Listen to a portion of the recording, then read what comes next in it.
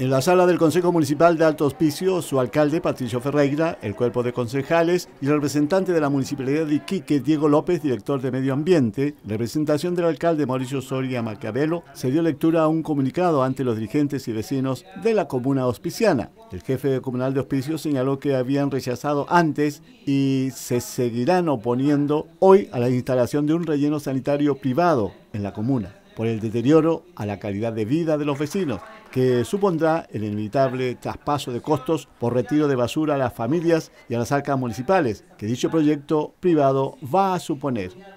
Este Consejo Municipal, este alcalde con sus concejales y con sus dirigentes y con sus vecinos, no vamos a permitir que se instale un relleno privado. Nosotros no le podemos pagar a un privado porque somos una comuna vulnerable.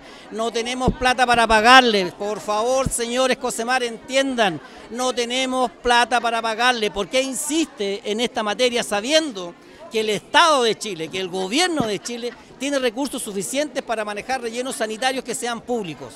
¿Por qué entrar en esta polémica? ¿Por qué insistir en esta materia? Llamamos a la cordura, llamamos a nuestro gobierno, al gobierno de Chile, llamamos a nuestro intendente, a nuestros parlamentarios a que nos apoyen en esta medida, a nuestros consejeros regionales, a todas las autoridades públicas y a los dirigentes a que nos apoyen. No es un capricho, de, que no queramos un relleno privado, se trata de nuestra realidad y nuestra realidad indica, señor presidente, nuestra realidad indica que no tenemos plata para pagarle a una empresa privada. Ayúdenos a que construyamos nuestro relleno sanitario público. El Estado de Chile tiene recursos para esto y para muchas cosas más.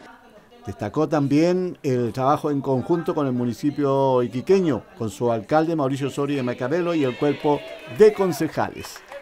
Estamos trabajando con el municipio de Iquique de manera mancomunada, junto al alcalde de Iquique, junto con los concejales de Iquique, para resolver esta materia. Les pedimos que nos apoyen. Nuestros dirigentes, nuestra gente, estamos totalmente decididos. Si es necesario extremar las medidas para que esto no vuelva a ocurrir.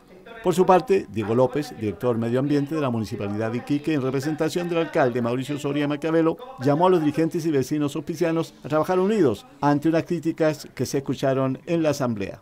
Él ha manifestado también eh, en qué estamos trabajando los dos municipios. Los dos alcaldes están eh, unidos, hay una mancomunión de municipalidades que está ya andando, ya hicimos todos los trámites en el registro civil, en el servicio de puestos internos, eh, hay, tres concejales de cada municipalidad que son parte del directorio, más los dos alcaldes, así que hay un montón de proyectos y, y el mensaje es claro, o sea, ambos municipios se oponen a la construcción, a la instalación de este relleno sanitario privado, no solo por los altos costos que, que, tiene que ver con la distancia, o sea, que tiene que ver con la distancia, sino también por la tarifa que ellos están cobrando por, por costo tonelada.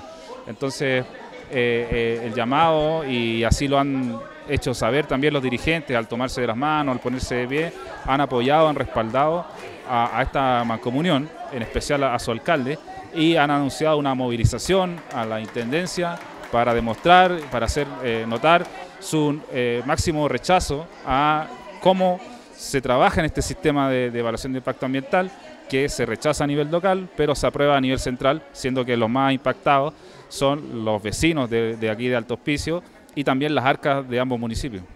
Al final, el alcalde Ferreira señaló que como municipio junto a la comunidad seguirán desplegando todas las acciones necesarias para impedir que el proyecto en las actuales condiciones se concrete. Se realizarán protestas, marchas y banderas negras en las casas de las juntas vecinales, según acuerdo de asamblea.